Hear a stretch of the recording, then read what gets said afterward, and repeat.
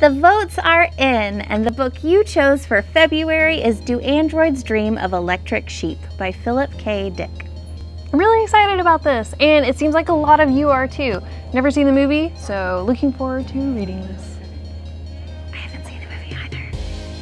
Yeah, so it'll be great. On Wednesday, February 12th at 7:30 p.m. Central, 8:30 Eastern, we will discuss the first half of the book, up to chapter 12. No spoilers past that point. Then join us for our second discussion on February 26th at the same time to talk about the second half of the book and the book as a whole. If you don't already have a copy, you can run to your local Second and Charles, tell them you're in our book club, and grab one for 20% off.